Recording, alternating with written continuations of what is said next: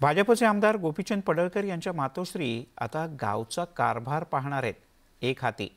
कारण आमदाराची आई असलेल्या नानी गावच्या सरपंच झाल्यात नानींचा गावात मोठा दरार आहे आणि त्यामुळे तो विकास कामासाठी सुद्धा फायद्याचा ठरू शकतो. पडळकर वाडीची नानी कारभारीण. आमदार पोराची आई सरपंच. पोराचा तालुक्यात नानीचा गावात दरारा. सांगली जिल्ह्यातल्या पडळकरवाडीची ही नानी नानी सरपंच झाली आहे पडळकरवाडीत गुलाल नानीचाच आहे. गावातल्या बाया बापड्यांची नानी म्हणजे हिराबाई पडळकर. हिराबाईंचा मुलगा आमदार आहे बरं का? भाजपचे फायर ब्रँड नेते आमदार गोपीचंद पडळकर यांची नानी ही आई.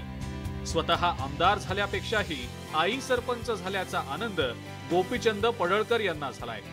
राजकारणाचा कोणताही वारसा नसताना माय लेकरांनी राजकारणात स्वतःचा ठसा उमटवलाय.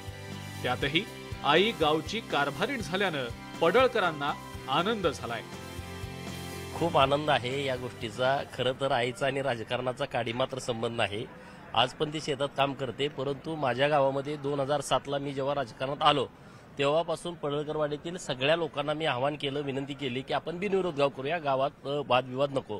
दोन हजार सात दोन हजार बारा दोन हजार सतरा तिन्ही वेळेस आम्ही बिनविरोध केलं होतं. माझ्या आईला प्रचंड मताने विजय करून दिलं.